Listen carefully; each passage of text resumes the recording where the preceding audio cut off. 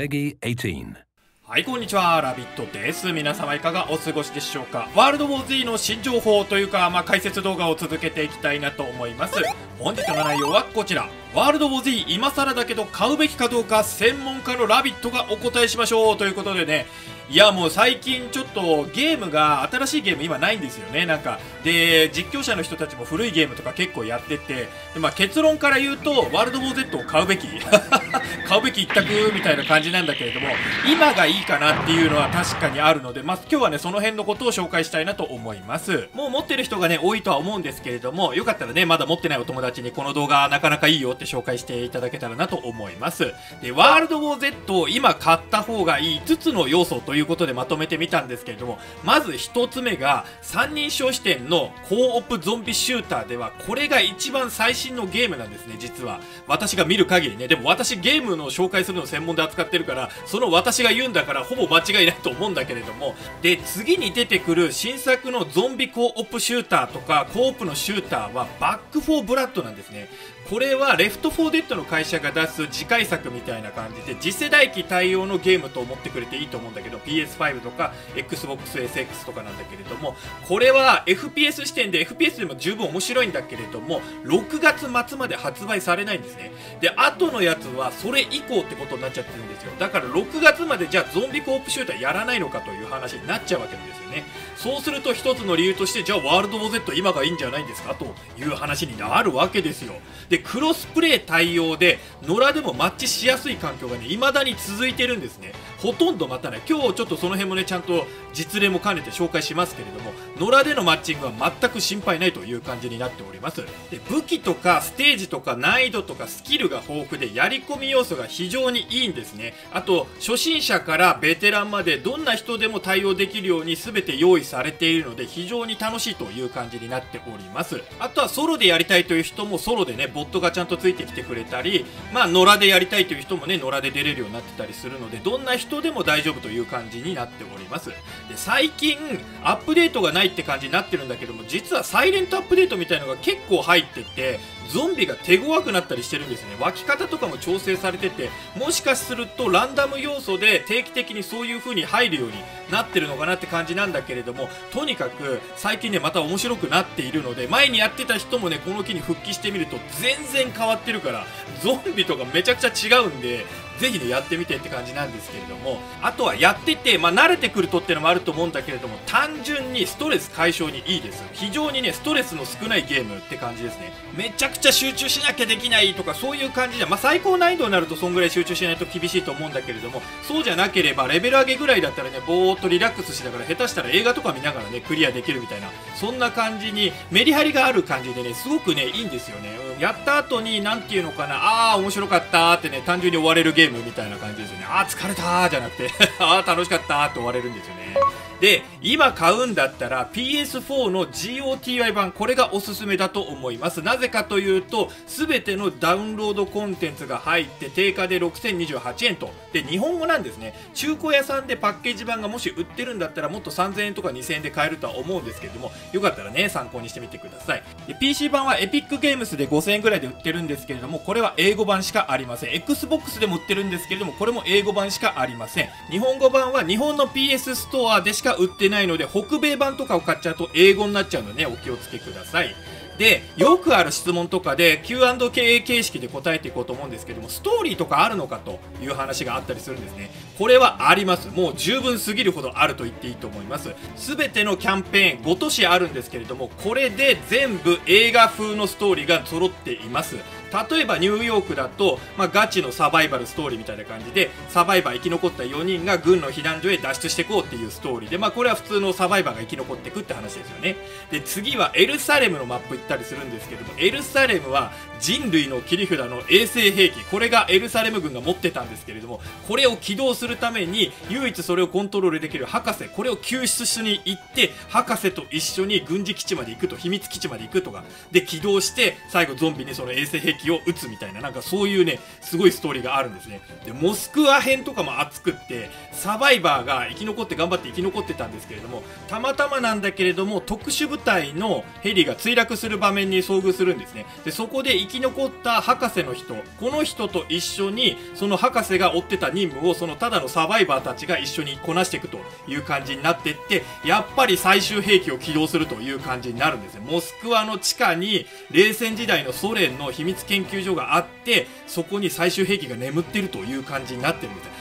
これがまた熱くてどの年も一個一個映画にしてほしいなみたいなそんな感じのストーリーがね揃ってるんでストーリーは全く問題ないという感じだと思います。もちろん東京もありますよ。日本人には東京編暑いからって感じですよね。で2つ目かそってないですかっていう話なんだけどはっきり言って私は発売からずっとやってるけど困ったことがないです。マッチングで困ったことがほぼない。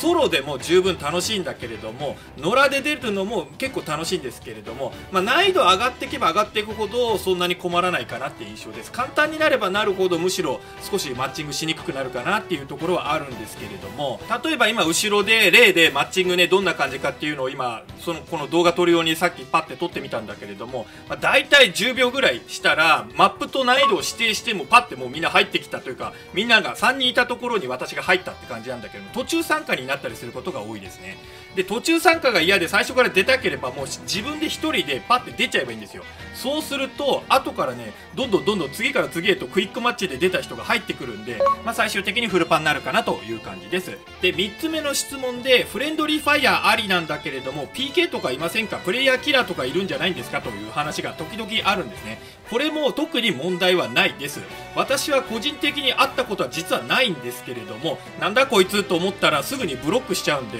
ブロック機能が非常に優秀なのでプレイした人さっきのやつ覚えておけばブロックすするというのが簡単にできるんでねこれは問題じゃないと思います。また PVP の方にいたりするんですけれどもチーターとかがいたらチーター対策で公式にそのムービーとかねアカウント名とかは報告する機能もついてますんでねよかったら参考にしてみてください、まあ、チーターとかね PK とかは本当そんなに気にならないですね。なんかいたらブロックしちゃえみたいなそのつもりでいいと思います。じゃあね試しに軽く1回出てみようかなと思うんですけれども東京編に出てみたいと思います。で高難易度をこのマップどうしてもクリアしたいって時は1人で出ちゃえばパラパラパラパラねクリアするまでには大抵フルパンになったりするんでで負けちゃったとしてもそのままパーティーはね結構残ってたりするんでよし次はこの4人で最初から行ってじゃあクリアしようということが可能になるんですね。なのでよかったらね参考にしてほしいんですけれどもそうやってフルパン集めることは可能ですでまだやったことない人は東京マップに出たらぜひねこのポスター類これをチェックしてみてください。例えばこれだとフレンドリーなリマインダーとか日本語なのかみたいな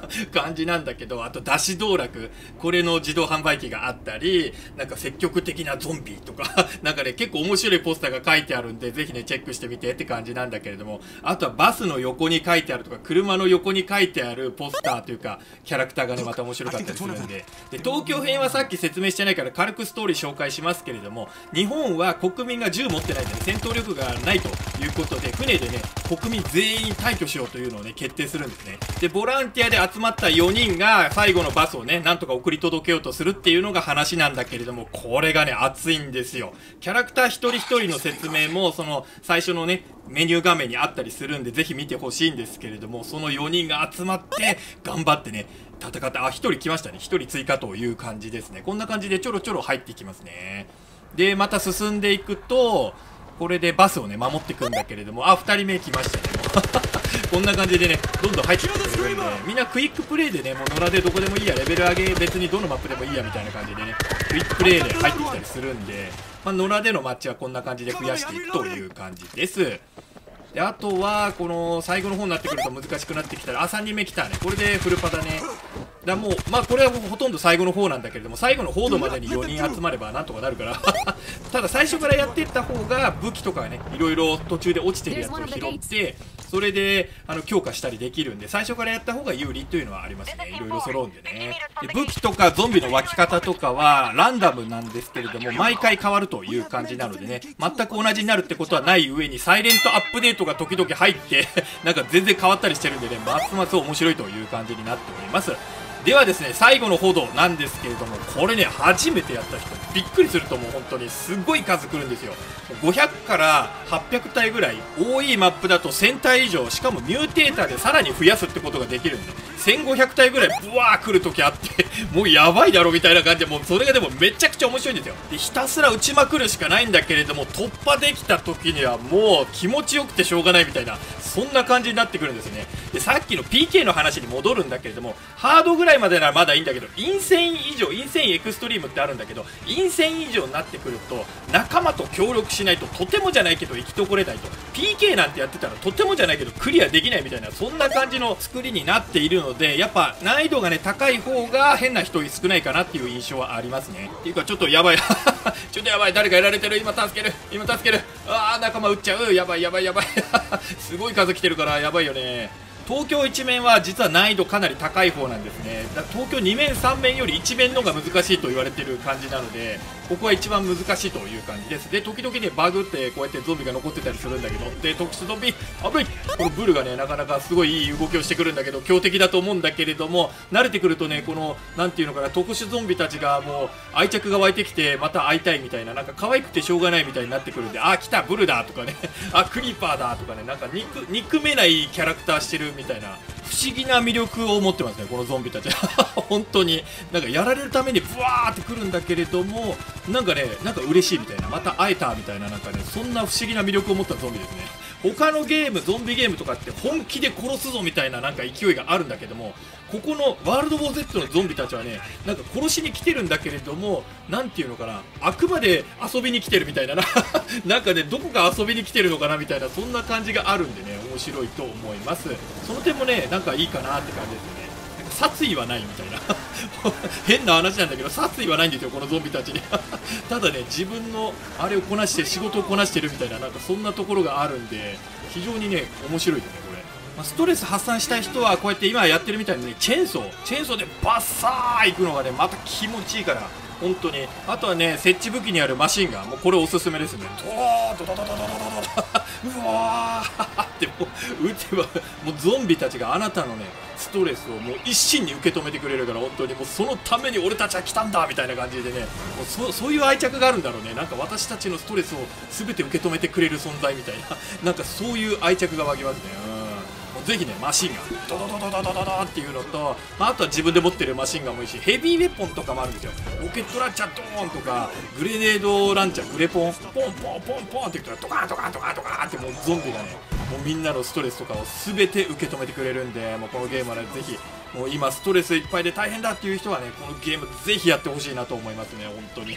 あんまりねグロさは強調していないのでゾンビたちもグロく人を殺すとかなんかブチって引きちぎるとか他のゲームだとねそういうのたくさんあるんだけれどもこのワールド・ウォー Z はそこまでそこまでグロさをね強調してないので面白いと思います。よかったらね参考にしてみてください。もしまだ買ってないねお友達とかいたらこの動画ねぜひ紹介してあげてください。多分よくまとまって分かりやすいと思うんでねこのワールド・ウォー Z 今買った方がいいよっていうのはね伝わると思うんで。で一番の理由はやっぱりコーオプシューターが次回作まで結構時間があるっていうことだと思うんですよね。で今ある私が知ってるまともなっていうとおかしいんだけれどもメジャーなゾンビ Co-op もしくはは Co-op でシュートする。銃を撃つタイプのゲームで Back 4 Blood が次世代機対応全部のあのスイッチ以外の全部の機種で対応してるんですけどもこれが6月22日発売とかなり長いですよね。で次にこの World War Z の会社が出す「Evil Dead: The Game」これ「死霊のはらわた」っていう日本語タイトルなんだけれども「Evil Dead: The Game」が2021年今年中に発売予定ということなので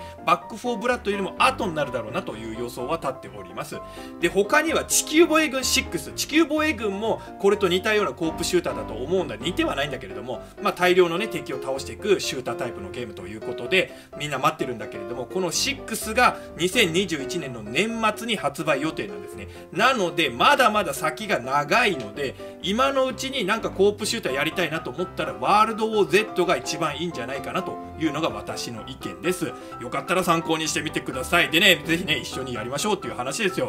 うん。でうちでは火木土の夜9時からから大抵ライブ配信してるんですけれどもワールドウォー Z は週2回ぐらいやってるかなって感じなんでね。よかったら覗いてみてやってください。他にはね赤原さんっていう方もこのワールドウォー Z の配信よくやってるんでそちらのねリンクも出しておきますので一緒によくやることあるんですけどもそちらも紹介しておきますので、ね、よかったら覗いてみてください。どちらもねそんなにゴリゴリやってくみたいな感じじゃなくて楽しく遊んでいく感じなんでね初心者の方でも全然 OK という感じですしベテランの方でももちろん OK という感じになっております。よかったらね参加してみてください。それでは今日はこの辺で終わりにしたいと思います。ご視聴の方ありがとうございました。ラビットでした。皆様の良きゾンビライフをお祈りしております。ほいじゃまたね。